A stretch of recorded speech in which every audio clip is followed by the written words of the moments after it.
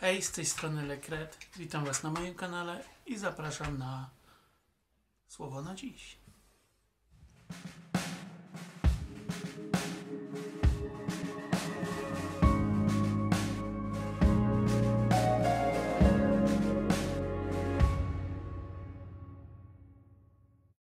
Siedzę sobie przed Wami w swoim domu. Siedzę w brudnej koszulce. Założyłem okulary, żeby Was nie stresowały moje dziwne oczy. I zastanawiacie się, czemu ten gość mówi do nas, siedząc tak niedbale, właśnie bez szacunku, w brudnej koszulce.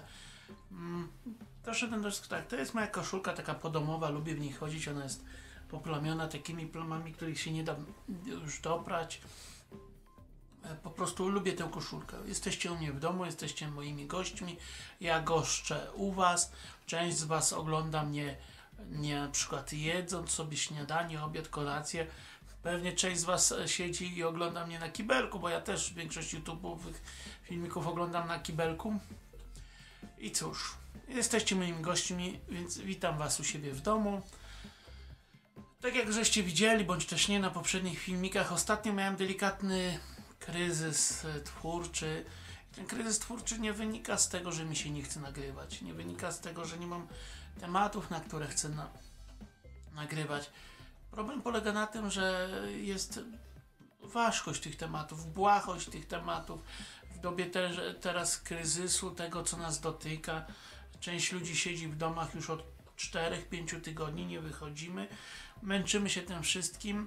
I teraz jest pytanie, czy ja, będąc e, mną, jako youtuberem, twórcą, e, wpuszczając Was do siebie do domu, mam Wam dać mm, obraz tego, e, jak to wygląda u mnie, tak, że jak ja siedzę w domu zamknięty, czy mam Wam zapewniać rozrywkę intelektualną, rozrywkę w formie jakiejś głupkowatości, czy po prostu ch- chcecie, żebym z Wami pogadał jak kumpel.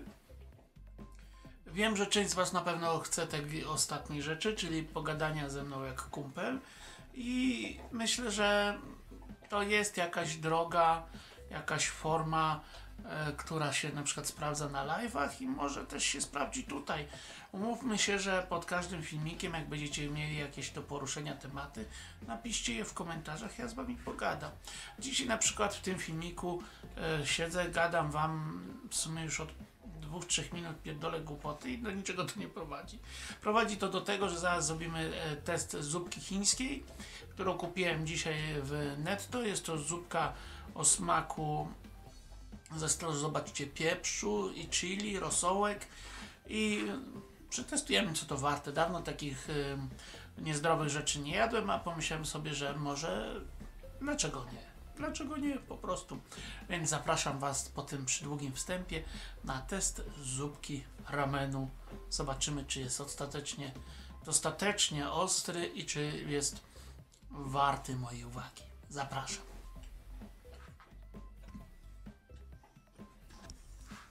Hej, witajcie w mojej kuchni. Tak wygląda produkt, który dzisiaj będziemy testować. Tak jak mówiłem, zupka chińska, tylko mam obawy, że delikatnie tutaj od na desce były po pomidorku wilgoć. Może nic się nie stanie. Pieprz, chili, makaron, ramen. To chyba wszystko jest już na przyprawy są, słyszymy chyba luźno. Ym, Zobaczymy jak ten makaron. Zaraz to otworzę. Obniżę to, żebyście widzieli. Na razie nie włączam wody. Włączę wodę po wyłączeniu yy, kamery, bo to wiadomo będzie hałasować. A my chcemy mieć to jakoś mm, no, opcję. Dobra, widzę, że tak, przyprawy są oddzielnie. Mhm. Ajajaj, wymieć to grube paluchy grubasa. No i ramen jest w formie takiej, jak widzicie, dopasowanej. Myślę, że ja nie będę tego ramenu gniótł, tylko go zrobię takiego, jak on jest tutaj. Zaleję. Tu mamy jakieś przyprawki, a tutaj w proszku podejrzewamy z bulion i kwintesencja ostrości. Najpierw nasypiemy bulion i kwin- kwintesencję ostrości. Podejrzewam, że gdzieś tutaj jest jakaś linia ale ja będę bazował na swoim doświadczeniu i do połowy mniej więcej mm, centymetr nad tym makaronem półtora naleję wody. A tutaj mamy warzywy i te warzywy też już nasypię. Od razu foliki. Nie wiem czy to w ogóle będzie widać, ja dobrze kamerę mam ustawioną, czekajcie. Powinno być widać, ale czekaj, o taką może lepiej będzie. Zatem już dodałem przyprawy. I teraz na chwilkę Was wyłączę. Nastawię wodę. Jak się zagotuje, to tu zalejemy. Mamy zagrzaną wodę do wrząteczku. Włożyłem tutaj swoje urządzenie do poziomu.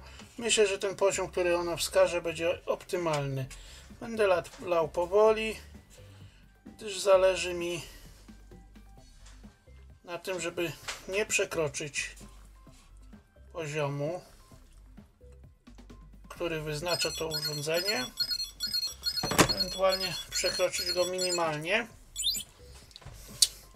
I teraz go zamkniemy. I damy temu chwilę. Jak się zrobi, przemieszam. No i spróbujemy to zjeść. Moi kochani, nie otworzyłem jeszcze tego pudełeczka, nie grzebałem w nim, nie mieszałem w nim.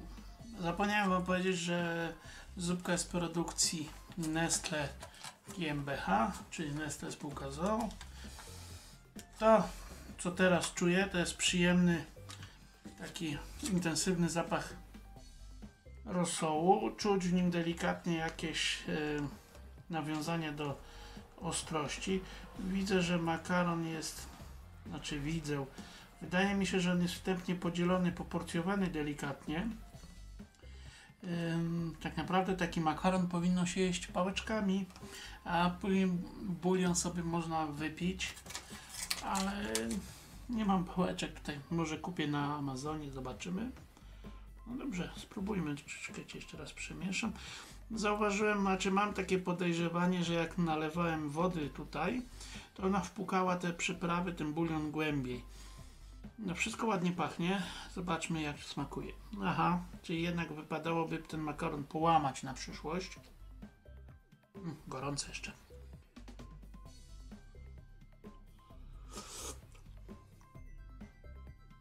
Mhm. Mój błąd taktyczny. Nie połamałem makaronu. Spróbujmy trochę spróbować. Makaron jest smaczny, powiem wam. Mmm, marcheweczka.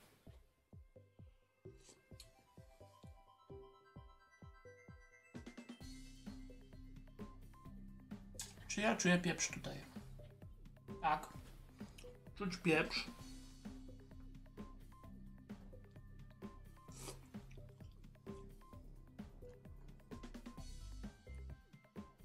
Ostrość delikatna chili. Spróbuję to ocenić w swojej skali ostrości. Mm. Moja skala ostrości jest zbudowana tak. Najostrzejsza papryczka, jaką jadłem na surowo, to jest habanero. I dla mnie habanero będzie mm, tak zwaną dziesiątką w skali od 1 do 10, gdzie habanero jest najostrzejsza, po prostu taką najostrzejszą jadłem. To będzie w skali habanero. Mm.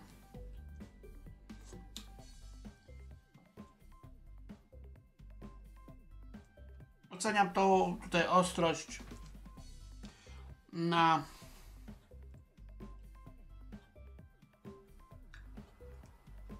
półtora, dwa w skali habanero.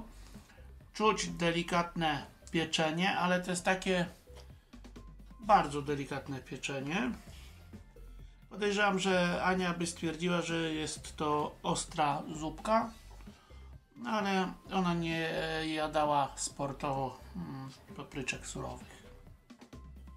No wkurza mnie ten makaron. Jakbym wiedział, że on taki będzie, to bym yy, go połamał. W sumie mogłem to przewidzieć, ale wiecie co? Pójdę po widelczyk. Poczekajcie sekundkę.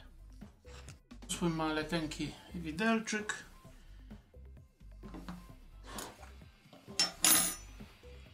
Spróbujmy sam makaron teraz sobie wyjąć.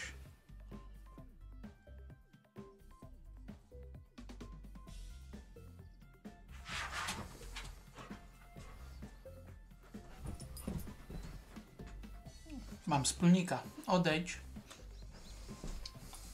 Nie oblizuj się, ja ci nie dam. Powiem wam, makaron całkiem dobry. Przyzwoitej. Dajcie, bo przecież. Przepraszam, że tak widzicie, jak wyjmuję to z gęby. Ale przecież nie da mi spokoju. Idźcie połóż.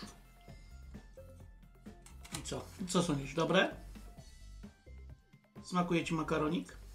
Ostrawy troszkę, nie? No więc makaronik w tym bulioniku całkiem przyjemny, jest ostrawy. I powiem wam, że smaczny. Jak e, różnie z tymi makaronami bywa, no te nudelki fajne, fajnie wyszły. Mają one taką mm,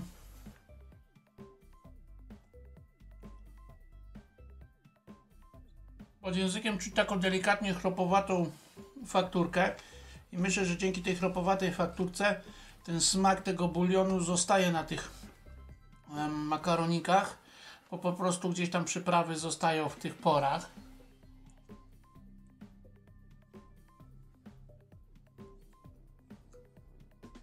No, przyzwoite.